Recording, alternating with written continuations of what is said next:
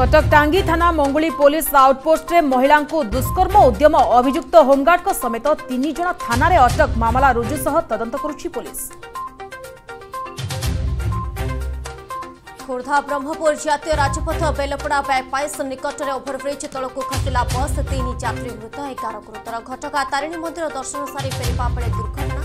ସମସ୍ତ ଆହତ ଏମ୍କେସିଜି ମେଡିକାଲରେ ଭର୍ତ୍ତି।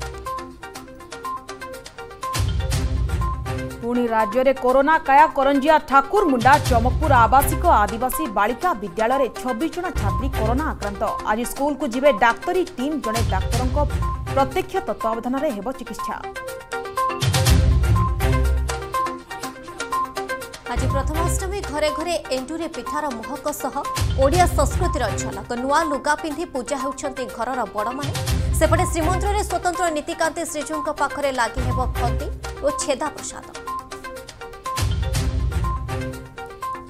ସୁପ୍ରିମକୋର୍ଟଙ୍କ ଦ୍ୱାରା ଆୟୋଜିତ ବାସ୍ତରୀତମ ସମ୍ବିଧାନ ଦିବସ କାର୍ଯ୍ୟକ୍ରମରେ ଯୋଗଦେଲେ ପ୍ରଧାନମନ୍ତ୍ରୀ କହିଲେ ସମସ୍ତଙ୍କର ଆସ୍ଥା ପ୍ରେରଣା ଓ ଶକ୍ତିର ଉତ୍ସ ହେଉଛି ଭାରତୀୟ ସମ୍ବିଧାନ ସ୍ୱାଧୀନତା ପାଇଁ ପ୍ରାଣବଳି ଦେଇଥିବା ସଂଗ୍ରାମୀଙ୍କ ସ୍ୱପ୍ନର ଆଲୋକରେ ଏହା ଉଦ୍ଭାସିତ। କ୍ଷମତା ପୃଥକୀକରଣ ଉପରେ ମୋଦିଙ୍କ ଗୁରୁତ୍ୱାରୋପ।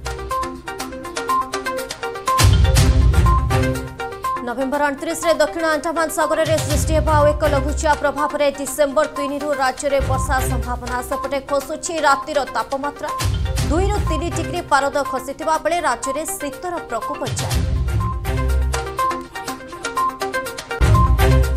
ନୂଆ କୋଭିଡ ଭାରିଆଣ୍ଟ ନେଇ ବଢ଼ିଲା ଚିନ୍ତା ଜରୁରୀ ସୂଚନା ଜାରି କଲା ବିଶ୍ୱ ସ୍ୱାସ୍ଥ୍ୟ ସଂଗଠନ। ଆଫ୍ରିକୀୟ ଦେଶରେ ଚିହ୍ନଟ ନୂଆ ଭାରିଆଣ୍ଟ ଉପରେ ଚାଲିଛି ଅଧ୍ୟୟନ। କଟକଣାରେ ଦେଶ ଦେଶ ମଧ୍ୟରେ ବିମାନ ଚଳାଚଳ ଏବଂ ଯାତ୍ରା ପାଇଁ ହୁର ପରାମର୍ଶ।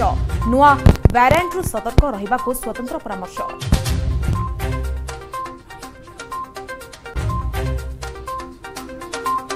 ଏବଂ ଜୁନିୟର ପୁରୁଷ ହକି ବିଶ୍ୱକପ୍ରେ ଆଜି ଗୁରୁତ୍ୱପୂର୍ଣ୍ଣ ମ୍ୟାଚ୍ କ୍ୱାର୍ଟରରେ ପ୍ରବେଶ କରିବାକୁ ଭାରତ ପୋଲାଣ୍ଡ ମଧ୍ୟରେ ହେବ କଡ଼ା ଟକ୍କର। କାନାଡାକୁ ତେର ଏକରେ ହରାଇ ମଜବୁତ ସ୍ଥିତିରେ ଭାରତୀୟ ଦଳ ଉଭୟ ଦଳର ଖେଳାଳିଙ୍କ ପ୍ରଦର୍ଶନ ଉପରେ ରହିବ କ୍ରୀଡ଼ାପ୍ରେମୀଙ୍କ ନଜର।